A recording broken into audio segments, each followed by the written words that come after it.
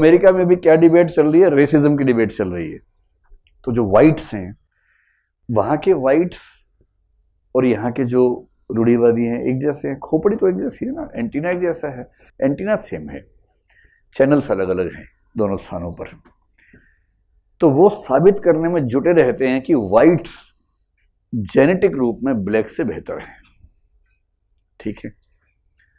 खूब रिसर्च करते हैं और ये बात सही है कि हर रिसर्च का रिज़ल्ट यही निकलता है। अब कितना रिसर्च कर लें, हर केस में आईक्यू का रिज़ल्ट जो वाइट्स की एवरेज है, वो ब्लैक्स की एवरेज से ज़्यादा आती है ठीक ठाक ज़्यादा आती है। तो उनमें जो खुश होते हैं इस बात से, वो झंडे गाड़ देते हैं कि साबित हो गया। ऐसे ही हम थोड़ा ना आगे निकले हैं।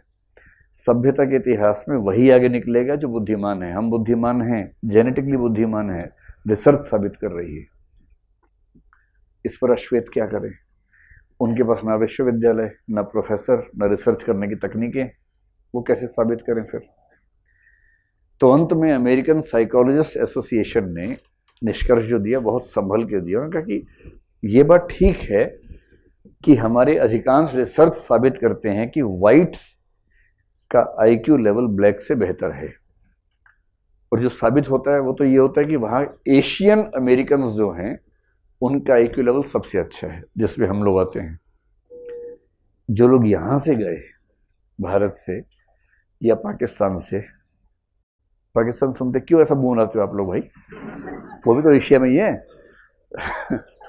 जो लोग भारत से गए या पाकिस्तान से गए या चीन से गए, वो एशियन अमेरिकन से हैं। सेकेंड जनरेशन में क्या हो गए? एशियन अमेरिकन हो गए। एशियन अमेरिकन का आईक्यू लेवल वाइट अमेरिकन से ज़्यादा है।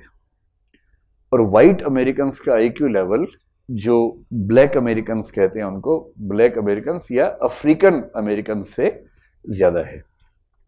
ये स्थापित निष्कर्ष है। आप इसमें से पहला हिस्सा लेके खुश हो सकते हैं कि हमारा आईक्यू लेवल उन लोगों से बेहतर है। है ना? आप खुश हो सकते हैं। पर इस खुशी को ख़त्म करने के उपाय मेरे पास हैं। इस खुशी को ख़त्म करने का पहला उपाय ये है कि जो एशियन अमेरिकन यहाँ से वहाँ गए हैं, वो एशिया के सामान्य वर्ग का प्रतिनिधित्व नहीं करते हैं। वो यहाँ की क्रीम जाती है वहाँ पर।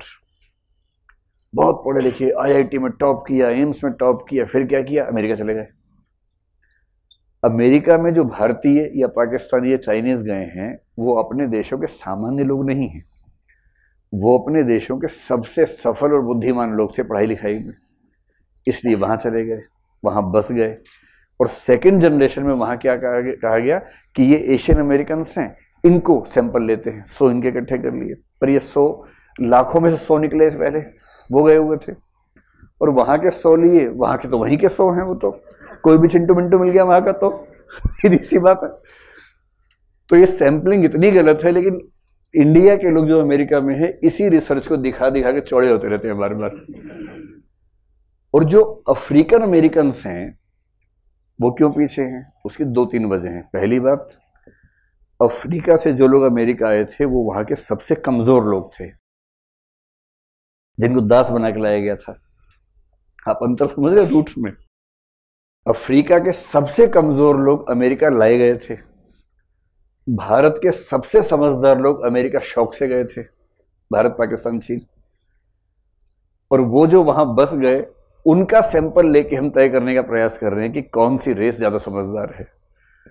और सबसे बुड़बक रेस जो समझ में आ रही है, वो मनोवैज्ञानिकों की रेस समझ में आ रही है, जो इनका अध्ययन कर रही है, जो इनका निष्कर्ष निकाल के साबित कर रही है कि कौन समझदार, कौन बेवकूफ़ है।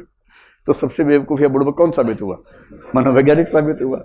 लेकिन साबित नहीं हुआ, क्योंकि जो मैं आपको बता रहा हूँ, वो उन्होंने बताया है। मैं नहीं बता रहा हूँ आपको, ये अंतर जो बता रहे हैं। ये उन्होंने बताए हैं, उन्होंने बताया अंत में कि हमारा निष्कर्ष इसलिए गलत हो सकते हैं, क्योंकि ये तथ्य भी ध्यान रखने पड़ेंगे।